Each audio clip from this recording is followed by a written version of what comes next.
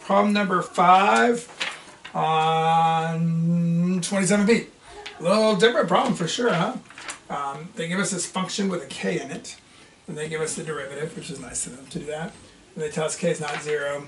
Uh, the first one says let's uh, have k equals 3. So what I did was I just wrote down f and f prime with that 3 in there. And the first question was to, um, I where is it? Uh, write an equation for the tangent line uh, at x equals 4. So first I found the function at 4, plugged it in there, got 1 fourth. Then I found the derivative at 4, got negative 5 sixteenths. I wrote the equation. y minus 1 fourth equals the slope, negative 5 sixteenths times uh, x minus 4. Second question said that x equals 4 this time. And then determine whether there's a minimum, a maximum, or neither at x equals 2. So again, there's my function with the 4 in it. There's my derivative with the 4 in it. So all I did was just put 4 in for k. Um, it's the derivative I'm concerned with, right? The question was at x equals 2. So I plugged 2 in my derivative. 4 minus 4 is 0. So I have a critical point at 0. Or at 2, sorry. And then I just plugged in uh, 1 and 3, a number to the left of 2, a number to the right of 2, into my derivative. The bottom's always positive, right? Of course, it doesn't even matter. So I got positive, negative, which means there's a maximum point at that value. Uh, part C says find K, so there is a critical point at negative 5, which means if there's a critical point at negative 5, the derivative's got to be 0 at negative 5. So here's my derivative, right? k minus 2x over x squared minus kx. I plugged in the negative 5.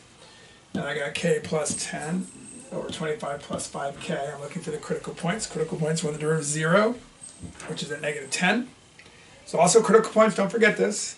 Not going to matter in this one, but be careful. It's also critical points when the derivative's undefined, right? So when the um, denominator is 0, but uh, this is a plus sign, and um, k, oh, wait a second, k, oh, sorry, there's a square. I lost the square, that's why.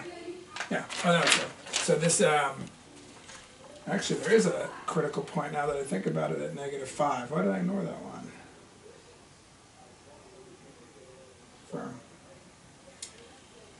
Oh, because it's, yeah, same one. So never mind. So K is, sorry, K is negative 10. Lost my focus a little bit.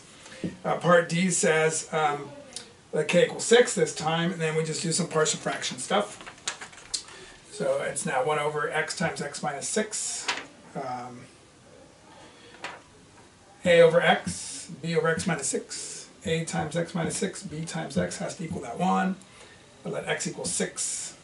Um, I get 6b equals 1, so b is 1 6.